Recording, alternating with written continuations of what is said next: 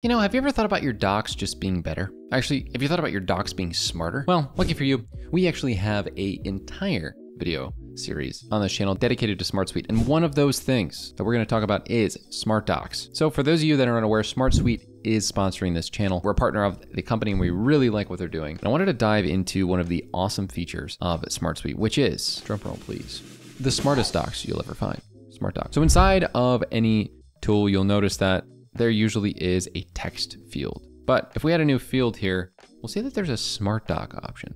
And Smart Docs are essentially what you'd imagine to be like the inside of Notion pages or any other great markdown functionality page. So if you see right here, if I press expand, this is a field. That's right, this is a field. It's just a field within a record inside of Smart Suite. And all of this can be augmented with an amazing feature called Smart Suite AI.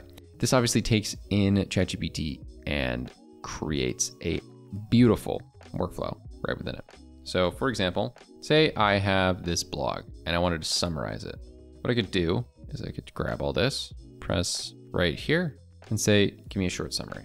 And then when I press enter, you'll see right here that oh, bada bing, bada boom, it is creating a short summary of what we see within this smart doc right here. This is similar to other features like Notion AI, but what is amazing about this is the fact that you get multiple different pages. And what I mean by that is like if you make Smart Docs adjacent to Notion pages. But they're within one record, right? So it's just a bunch of different fields that can, if we put, you know, not replace section, but insert below, then I would pop this right down below there.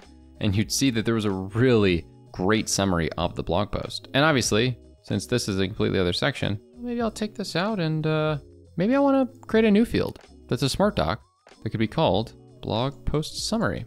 Add this field. Then within there, see, we have multiple documents inside of this. So we have one for the entire blog post and one for the summary. And in both cases, I'd be able to expand this and see the entirety of what's inside that field, which is just absolutely awesome. I'm, I'm a huge fan of the way that I can treat these like different documents while they're in the same record. So if I go back within this same record though, Let's take a look at the different settings that you could have here. When it comes to field permissions, I can allow people to actually adjust the field permissions here. So who can view and edit this. So say for example, I don't want anybody editing the blog script um, past a couple people. I could just select the team members. Like I just want it to be me and that's it, who can edit this field. That is awesome. Or I can make it for teams. So I could be like, all right, add content squad. Then they would be able to edit this field. Because in a lot of circumstances, I don't want people messing with it. And I think that's a great use case of why we'd want to have that for Smart Docs.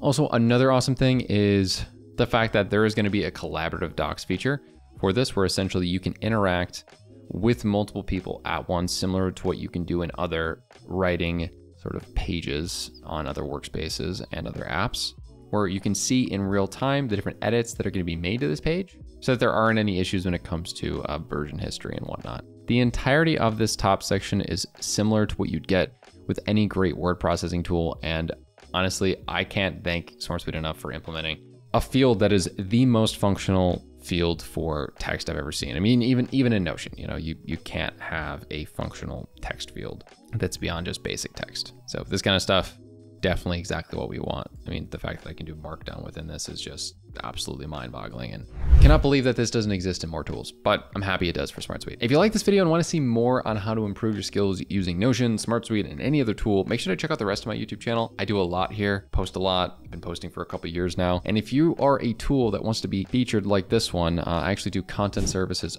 for different tools on their own platforms and sometimes on my channel if you're extra special. With that being said, thank you so much for watching and we'll see you in the next one.